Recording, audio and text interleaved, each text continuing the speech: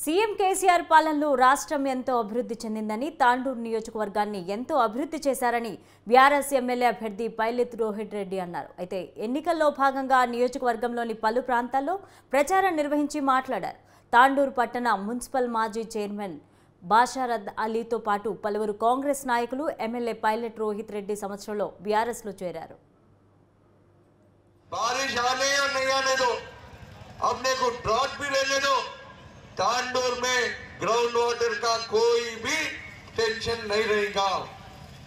तो ऐसा एक प्लानिंग के हिसाब से हमारे को तांडोर तरक्की के लिए हम काम कर रहे हैं। और आज देखेंगे आप तो पहला तांडोर रातों में अंधेरा बिछे हुआ था।